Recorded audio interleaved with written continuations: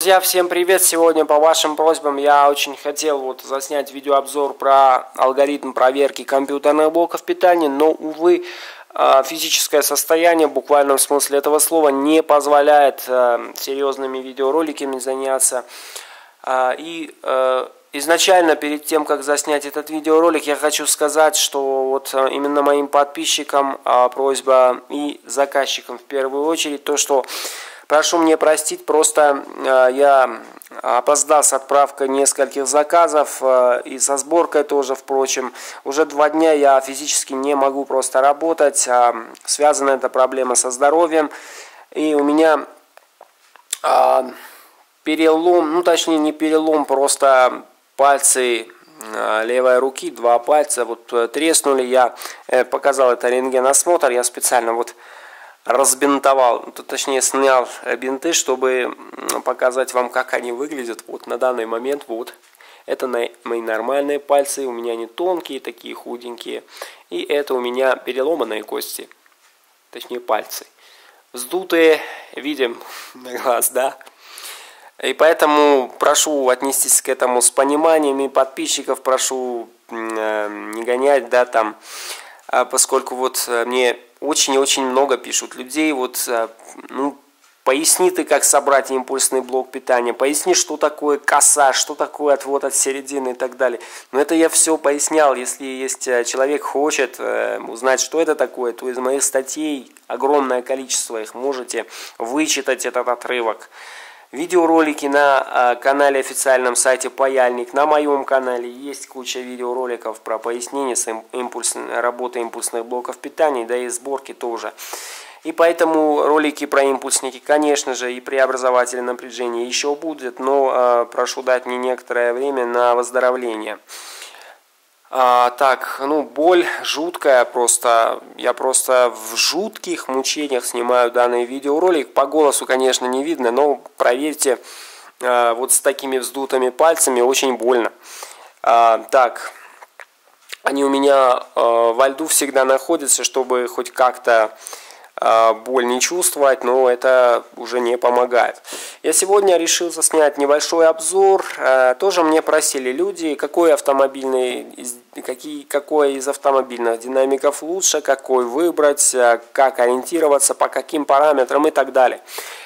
Ну, изначально хочу сказать, что я крайне не сторонник вот тех штатных автомобильных головках, э, головок, которые продаются а, там в магазинах, то есть там блины круглые, вот динамики с пищалками всякими, да, пластиковый э, диффузор там и так далее, резиновые, резиновые подвеса. Я вообще не люблю такие динамики, и у меня на это не только свои причины, вот практика и опыт показывает, что они крайне ненадежны э, в таких суровых условиях. Во-первых, почему? Кто э, редко кто вот встречал штатные дешевые динамики, ну средние там по ценовой категории и даже довольно дорогие, у которых вот сейчас э, покажу на крупным планом вот так.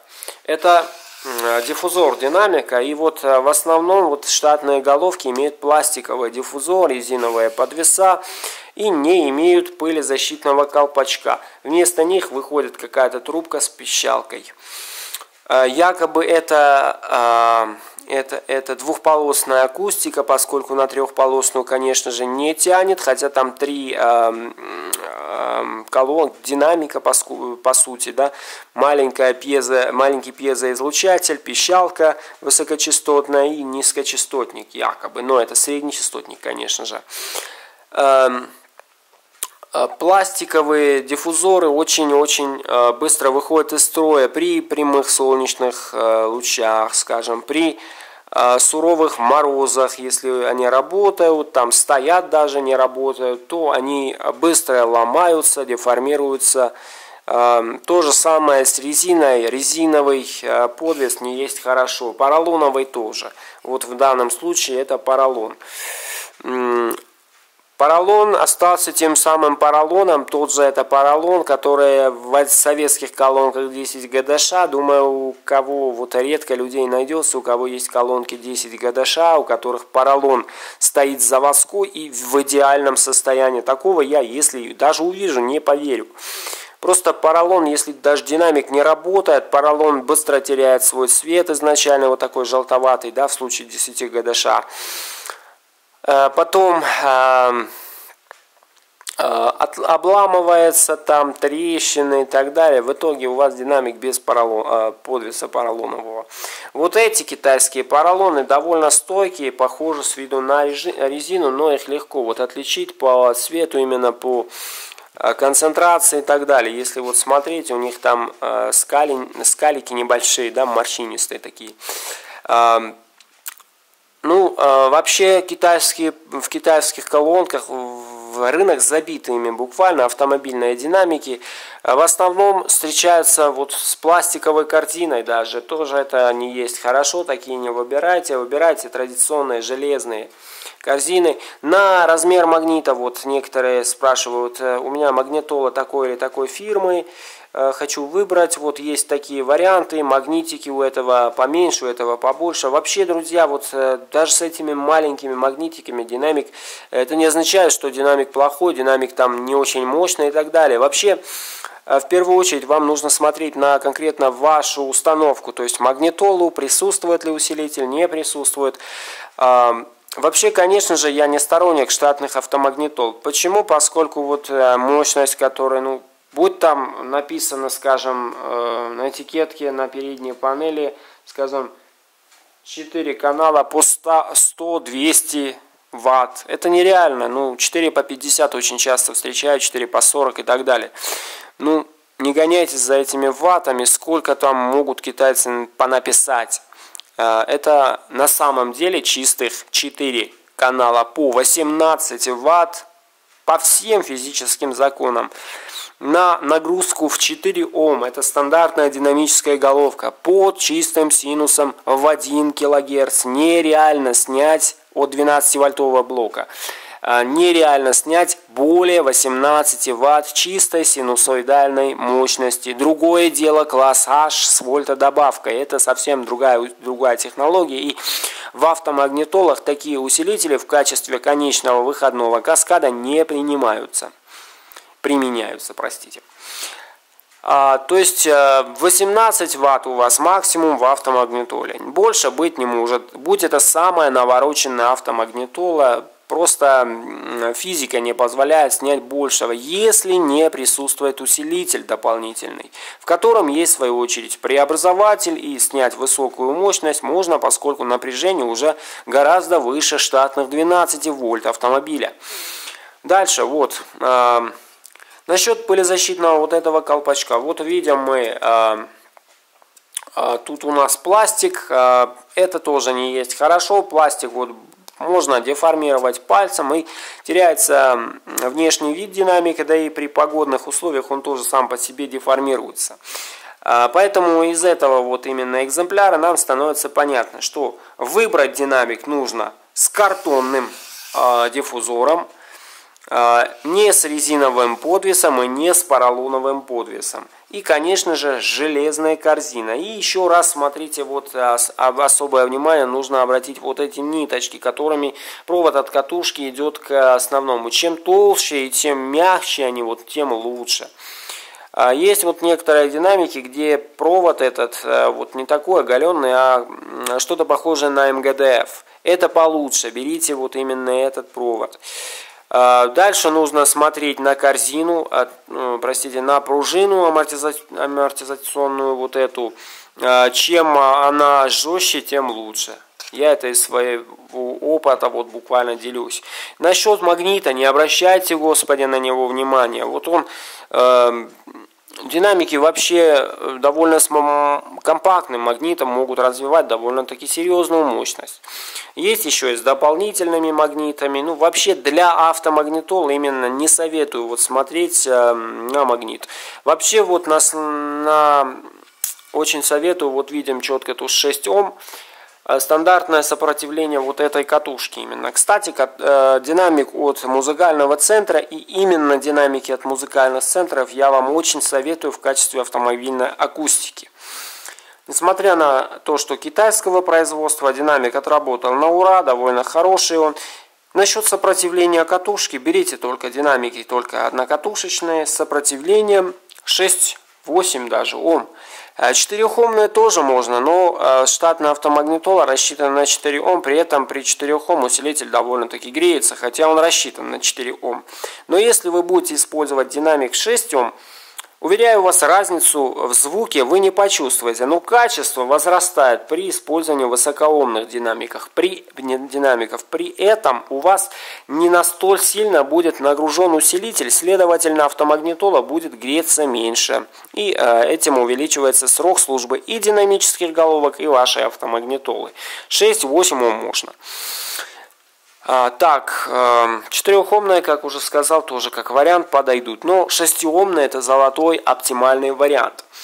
Вот э, второй экземпляр, который работал под сабвуфер. Насчет поролоновых э, э, подвесов я вам покажу сейчас именно почему я не советую взять. Хочу тут найти. Вот-вот-вот. Блин, не знаю, видно или нет. Вот тут уже пошла трещинка как-то, да, поролон отработал, динамик работал под сабвуфер. Но у этого динамика есть многое хорошее. Во-первых, отличная корзина, хороший магнит, э, хорошие вот такие контактные клеммы. Ну, они э, стоят на каком-то картонном держателе. Это не есть хорошо, но поскольку они неподвижные, то это очень довольно неплохой вариант. Вот колпачок пылезащитный, в отличие от первого экземпляра, он картонный, его очень трудно деформировать. И еще картонный вот э, диффузор. Э, с обратной стороны тоже такой морщинистый он. Вот такой. Так, э, диффузор вот у этого динамика то, что надо. Вот поролон не самое лучшее решение, но все остальное устраивает. Номинальное сопротивление, а, номинальная мощность динамика составляет 30 Вт, но китайцы накрутили до 50 Вт. А, вот такие штатные вот автомобильные заводские головки попадаются. Видите, как, в каком они состоянии могут оказаться после года использования. Диффузор очень тонкий, легко очень деформируется. То же самое с пылезащитным колпачком, он был очень тонкий. И вот резина, те, которые вот э, та резина, которую вот некоторые люди хвастают очень, хвалят вернее, да. А, так, он вот, э, вот обрывы видим, трещинки идут и на резине. Все это зависит от того, если вот резина замерзшая, то есть при минусовых температурах, вы включаете автомагнитолу, там громкость делаете максимальную, то резина это не есть вот вечность, да. Резина тоже ломается, резина тоже трескается. И э, постепенно вот э, все больше и больше мне вот таких э, заводских, это э, BMW X5, если не ошибаюсь, вот динамики промышленного образца стояли с завода. Принесли мне на ремонт вот в таком мусорском состоянии буквально, двухомные, кстати, головки, не знаю, вам видно или нет будет, вот, двухомные они. А, так, и корзина пластиковая, вот не люблю очень эти пластиковые корзины, вот они некрасиво смотрится, при этом их очень э, легко можно обломать. На самом деле стоит учитывать и стоит вот сесть за стол э, с понятием вибрация в автомобиле.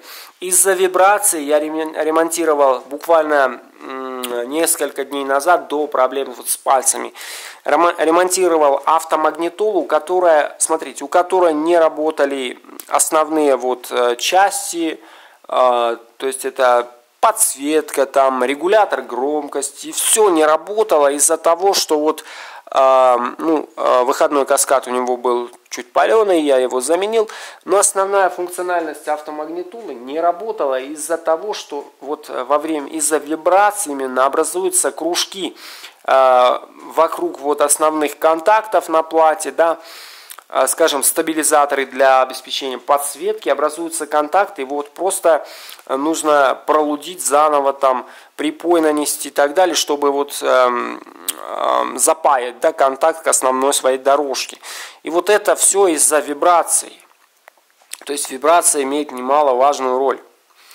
Эм, так, э, что я хотел дальше показать. И вот золотой номинал динамика, который я хочу, чтобы для вас прослужил как эталон. А, это, я не знаю, какие продавцы... А, Айва. Айва. А, динамик а, довольно маленький такой, но он может служить примером для, в качестве эталона. Почему? Смотрим на колпачок. Он такой толстый, что вот пальцем мне его довольно трудно таки деформировать. Второе. Смотрите, такой вот мятый как бы подвес, да, изначально такой неустойчивый и так далее. Но это, друзья, ткань. То есть ткань, пропитанная каким-то прорезиновым покрытием, наверное, по-моему, э, очень хорошо держится. Он самое главное, никаких там обрывов вы не заметите. Такие динамики я устанавливал где-то два года назад у человека, который вот э, работает, ну, частными извозами занимается, у него постепенно при суровых там погодных условиях, при резких сменах климата и так далее работают эти динамики. Никакой деформации. Я э, несколько дней назад встретился с этим человеком, он э, буквально показал мне, как сейчас на данный момент, я вернее попросил показать, как динамики чувствуют себя, и несмотря на то, что они постепенно на заднем вот стек, э, задней доске, да, постепенно под воздействиями солнечных лучей там и так далее, но они вот в идеальном состоянии находились и по сей день.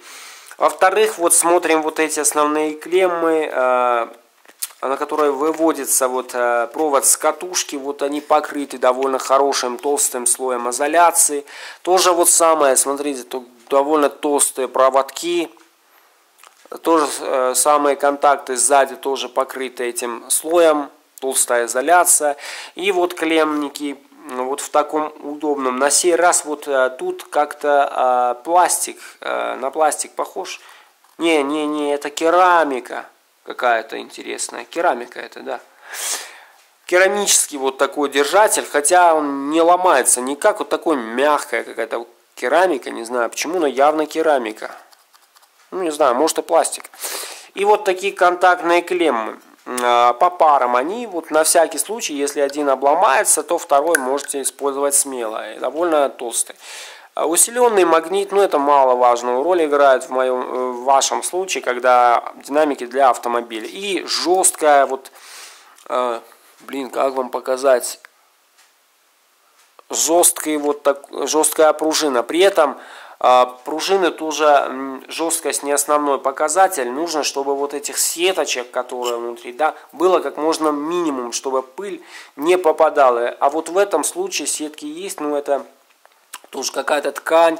Но сеток вообще не видно, просто э, это более, думаю, для декора, декорация в виде сеток. Но сетки нет, просто они вот так и видны, но щели и отверстия там нету. Вот это хочу, чтобы смотрели вот на этот динамик и, наконец, толстый, очень толстый. Смотрите, пальцем хочу сдавить, но никак не получается. Э, очень толстый картонный а, диффузор. Это свидетельствует о том, что динамик очень хороший, прослужит очень долго. Ну, они у меня а, где-то лет пять, наверное, прослужили в музыкальном центре, но даже сейчас они Выглядит очень круто, как э, даже получше некоторых новеньких динамиков и вообще не потеряли свои звуковые параметры, несмотря на то, что они у меня работали и в качестве сабвуфера, и в качестве там э, подавал на них мощность колоссальную в 2, 4, 5 раз больше, чем э, заявлена мощность производителем 30 ватт, если не ошибаюсь, тут было заявлено, нету тут написано, ну, на колонках было где-то 30 ватт колон, динамики сами. Я уверен, что они поддержат и 50 чистых ватт. Ход у динамиков очень крутой. Так, ну насчет а, высокочастотных пищалок. Ну, вообще не понимаю тех людей, которые вот говорят, купить хорошие пищалки. Зачем вам пищалки, друзья? Ну, смотрите, вот, э, к примеру, наглядно я поясню, зачем вам нужны вот пищалки. Это широкополосный динамик. Э, полоса воспроизводимых частот от 20 Гц до 20 тысяч Гц, то есть 20 кГц. То есть он может воспроизвести все, весь, те, весь вот этот э, диапазон, который мы можем услышать. И высокие частоты отлично может воспроизвести этот динамик. Вот, скажем, пищалки, вот типа, нет, это у меня на самом деле среднечастотные колонки, вот тоже очень любимая, вот такая компактная миниатюрный, миниатюрный динамик, 4 Ом, 1, а нет, 3 Ватт. А почему я люблю этот динамик? Снял из акустики 5.1, к сожалению, у меня один такой. Смотрите на ход. Круто, да? На его основе можно целый сабвуфер сделать. Ход наравне, скажем, с чем? С заводским блином. Очень большой ход у динамика.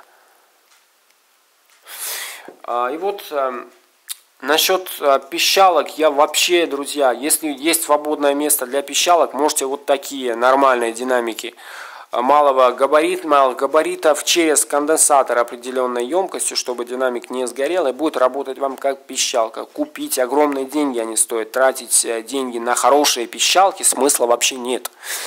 А, вообще лучше вот использовать ограничительный резистор, поставить, ну, последовательно одному из выходных проводов. И вот динамик по прямому предназначению как широкополосный использовать. Но пищалки смысла нет вообще использовать, поскольку штатные динамики воспроизводят очень прекрасно и гармонично воспроизводят все те частоты, которые мы можем слышать. И высокочастотные тоже сигналы. Вообще редко таких людей находится, которые любят вот эти самые верхние свисты уже, да, э, пищание там от пищалок. Ну, вообще не понимаю таких людей, которые говорят пищалок побольше. Есть и такие. А так для тех людей, которые понимают, надеюсь, поймут меня, согласятся со мной, что пищалки вообще смысла нет использовать в автомобилях, да и вообще во всех акустических системах. Зачем в Советском Союзе применили пищалки? Не знаю зачем. В установках, в хороших установках типа high-end с ламповыми усилителями обычно не ставят пищалки. А, бывает, конечно же, и ставят, но а, это больше там для коммерческих целей, наверное, для того, чтобы показать, что у них полноценная трехполосная акустическая система. А, и это не есть хорошо пищалка. На этом, друзья, все. Вынужден с вами прощаться. Подписывайтесь на канал, оставляйте свои отзывы, комментарии. Пока.